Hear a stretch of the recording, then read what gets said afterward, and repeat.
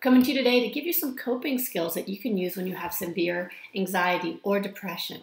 When moods become overwhelming, you really need to find a way to quickly soothe yourself so you can get yourself into the mindset to be able to keep moving on with your day and get past those emotions that are weighing you down.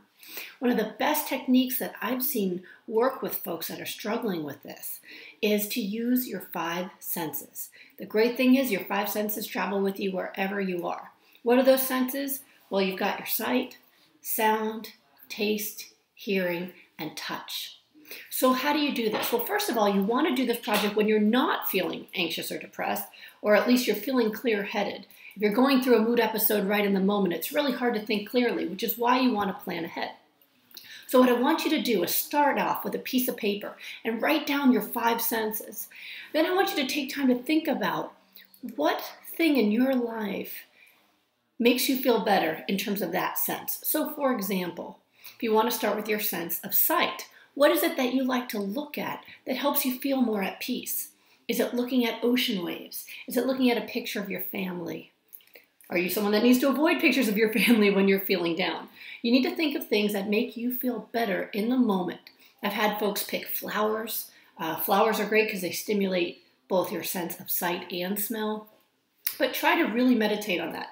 Hearing. For me, when I listen to meditation music, or ocean sounds, I feel very peaceful. In fact, I like to listen to ocean sounds when I fall asleep at night, and I fall asleep fast when I do that. So, again, think about sounds that make you happy when you hear them or feel at peace. Same with smell. What smells work for you? Do you like essential oils? Do you have aromatherapy candle that really makes you feel great? Uh, do you have flowers that you like the smell of? For me, jasmine, either flowers or essential oils, makes me feel really, really happy.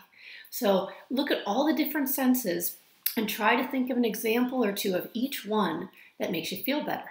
Once you've done that, the next step is to actually gather those items that make you feel good and put them all in one spot.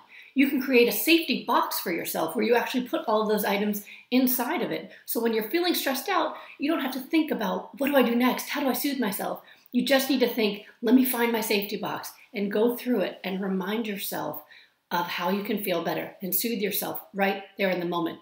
You can feel better with your sense of touch by putting on your softest sweater or blanket, turn on your meditation music, light your aromatherapy candle, get all that going. Put a piece of dark chocolate in your mouth and let that dissolve while you're listening to your music and feeling your sense of touch inside. I'll get all of that set up for yourself and just let yourself breathe it in and enjoy it and bring yourself back to a relaxed state. I hope you do it. I think it'll help. This is Dr. G wishing you the greatest health and happiness. I'll see you soon.